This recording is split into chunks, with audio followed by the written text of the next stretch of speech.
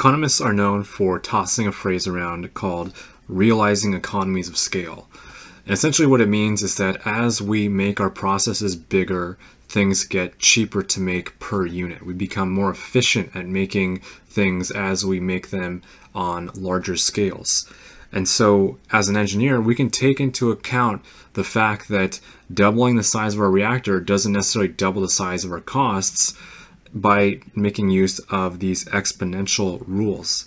And so what I'm going to do in this video is work through an example problem in which we are able to take a known cost and figure out how much we would expect to pay if we were if we wanted to double the size of a heat exchanger.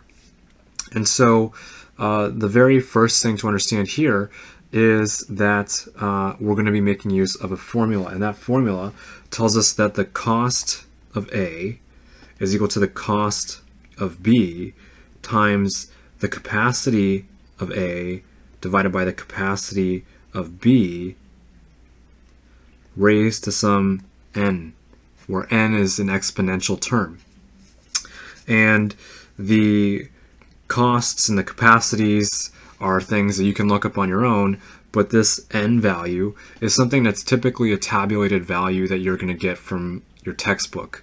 And there's a lot of engineers who will dedicate a lot of time uh, figuring out what these exponents are and what range of capacities these exponents will apply to. So you need to keep track of the capacities that you're working with in order to make sure that you're not uh, being unreasonable. And so uh, with this information, we can now go about solving this problem. And so in this case, I'm going to let A the variable A denote our 400 square foot reactor. So we're solving for CA, the cost to actually build this 400 square foot uh, heat exchanger. And we know that the cost to install this 200 foot square one, B, was 80,000 bucks. And we're going to be multiplying this by the capacity of A, which is 400 square feet, over the capacity of B, which was 200 square feet. And we look to our table, so we've got a floating head heat exchanger, and the floating head heat exchanger is right here with a value of 0.6 for the exponent. So we will plug in 0.6 for our n value right here.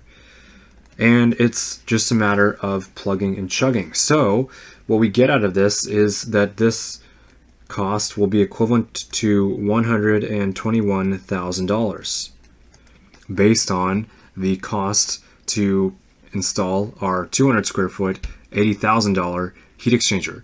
And so um, it is also important to make a note here how they've given you this size range here and we've made sure that we've stuck within this size range because um, otherwise these values will not be as accurate as you're hoping. And so that's going to wrap things up for this video. I hope you guys find it useful and thanks for watching.